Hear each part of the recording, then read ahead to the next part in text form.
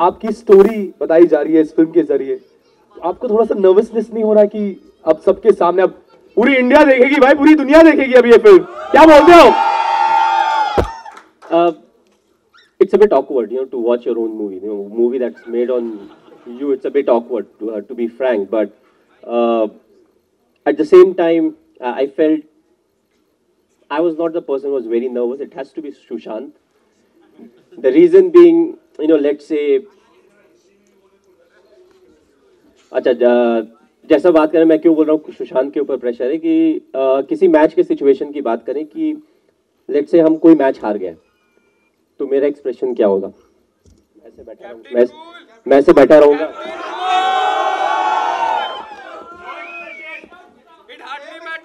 दो चार बार अपनी दांतों को ग्राइंड करूँगा थोड़ा सोचूँगा बस दैट्स इट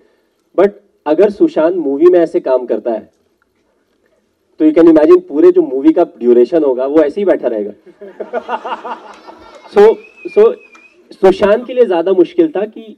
उसको बाहर निकालना है और ऑडियंस को बिलीव कराना है कि मैं अंदर से ऐसा फील कर रहा था, जिसके लिए इसने मुझे बहुत कुरेदा है। कि उस समय कैसा फीलिंग था, इस समय कैसा फीलिंग था। मैं बोला, यार, तुम सवाल ही पूछते रहते हो। रियलिटी है कि रियलिटी है कि कि मैं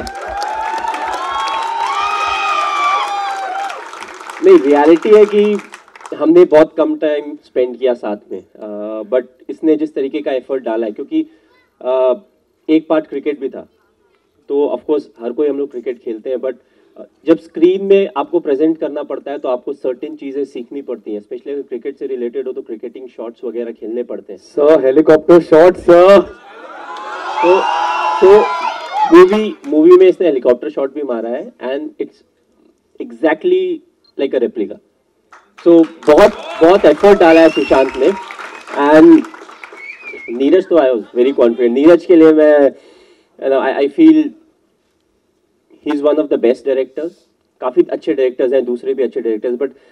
आई लाइक जिस तरीके से ये मूवी को प्रोजेक्ट करते हैं, जिस तरीके से इनकी मूवी में जो भी मेन थीम रहता है, उससे बहुत ज़्यादा इधर उधर डाइवर्ट नहीं होता है। It sticks to the theme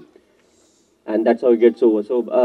you know Neeraj के बारे में बहुत ज़्यादा नहीं बोलेंगे I think is very talented बहुत टैलेंटेड है uh, बहुत हार्ड वर्किंग है और आई फेल्ट यू नो जितना भी हमने इंटरेक्शन किया आई थिंक काफ़ी सारे मेरे दोस्त हैं काफ़ी सारे uh, लोग हैं जो मुझे जानते हैं but I think Neeraj because काफ़ी चीज़ें हमने एक्सचेंज किया शेयर किया तो I think he he knows a lot of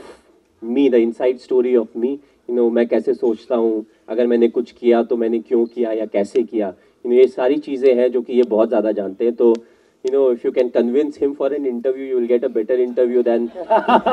than, you know, really asking me a question, क्योंकि मैं काई, काफ़ी बार बोल जाऊँगा, नहीं, इस टॉपिक पे नहीं बोल सकता, ये नहीं कर सकता, वो नहीं कर सकता बट